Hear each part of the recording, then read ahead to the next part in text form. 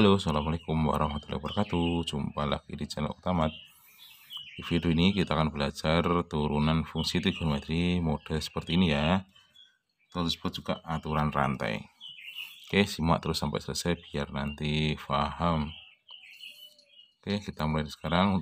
Langkah pertama untuk mengerjakan seperti ini yaitu kita lihat lagi bahwa ini nanti bentuknya ke Y sama dengan U pangkat N sehingga Y turunannya adalah N kali U pangkat N min 1 kali U turunan. Nah, U-nya di sini adalah yang ini. Oke, langkah pertama kita buat pangkat dulu, terus kita bawa ke atas.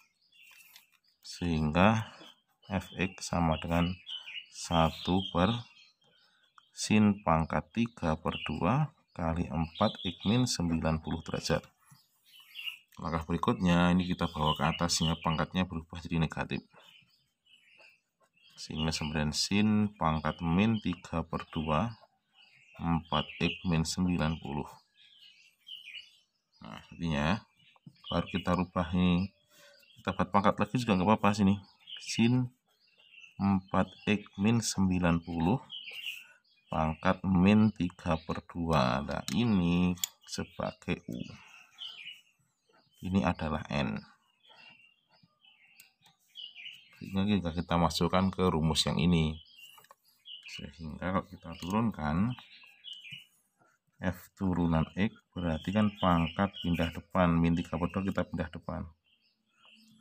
Min 3 per 2 kemudian tulis lagi fungsinya yaitu sin 4x min 90 derajat pangkat min 3 per 2 min 1 dikali turunan sin.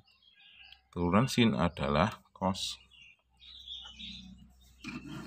Cos kali 4x min 90 derajat dikali turunan sudutnya. 4x min 90 kan turunannya adalah 4. Nah, kita sederhanakan berarti 2 sama 4 kan bisa kita coret toh tinggal 2 2 kali min 3 berarti ketemu min 6 kali sin. 4x min 90 pangkat min. 3 per 2 dikurangi 1 adalah min 5 per 2 kali cos 4x min 90 tinggal kita sederhanakan pangkat yang negatif tinggal kita bawa ke bawah yang ketemu min 6 kali cos 4x min 90 dibagi sin 4x min 90 pangkat 5 per 2 nah setelah itu tinggal kita sederhanakan pangkatnya kita rubah menjadi akar seperti ini lagi. Sehingga hasilnya adalah min 6 kali cos 4x min 90 dibagi bagi akar. Sin pangkat 5 4x min 90 maka sudah ketemu hasilnya. Itu ya kita gunakan ini adalah rumus U pangkat N. Gunakanlah aturan rantai.